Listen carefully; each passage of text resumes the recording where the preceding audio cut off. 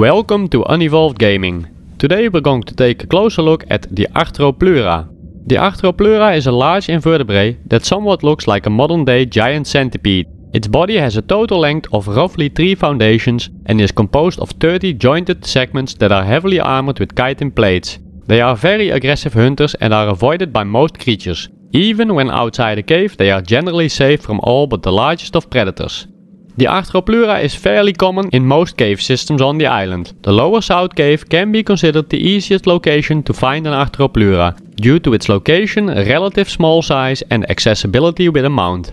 Arthropleuras can be very tough opponents. Their bite will inflict damage and torpor to both your survivor and mount. An Arthropleura can also spit its own blood towards the survivor even when mounted.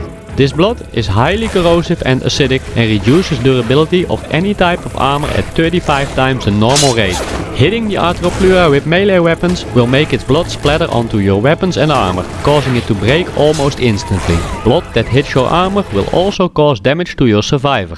An Arthropleura spit is very predictable and can be avoided when you are mobile enough. It is therefore recommended to use ranged weapons to kill the Arthropleura. Shooting it in the head will give you a 2.5 times damage multiplier.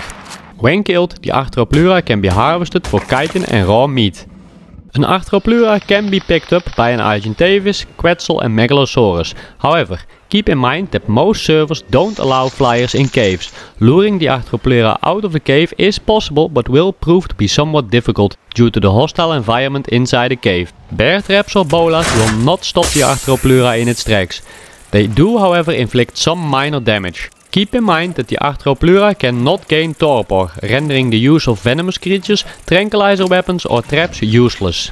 When trying to tame an Arthropleura, it is best to kill all other creatures in the area or to lure it into a safer location inside the cave. The Arthropleura can only be tamed passively, they are however aggressive creatures so survivors will have to apply bug repellent to keep them from attacking you on sight. Keep in mind that the Arthropleura will not be tameable if it is trying to attack another creature or is feeding on a corpse. The Arthropleura can be tamed with spoiled meat, raw meat and raw fish meat. However, it prefers broth of enlightenment, which will speed up the taming process significantly. Broth of Enlightenment is very expensive to make, since it requires ingredients such as black pearls and deathworm or woolly rhino horns. It can be consumed by players and provides a 150% experience boost for a duration of 20 minutes.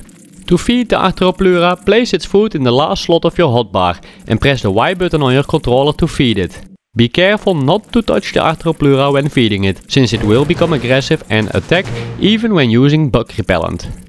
A saddle to ride the Arthropleura can be crafted in the smithy when a survivor reaches level 54. When riding an Arthropleura, you can press the left trigger on your controller to perform a spit attack. This attack will destroy enemy armor in a few hits and can also be used against bear traps. Aiming this attack can be somewhat tricky and may require some practice.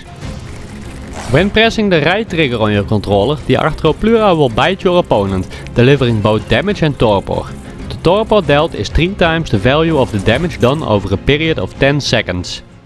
A tamed Arthropleura can be turned into a turret in its behavior options. This will make the Arthropleura use its spit attack to anything that comes into its line of sight. Keep in mind that this will only work on wild dinos on PvE.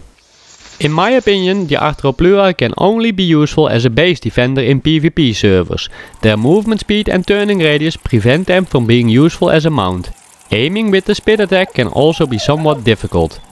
The Arthropleura can however be of great use when your opponent has bear traps placed around their base.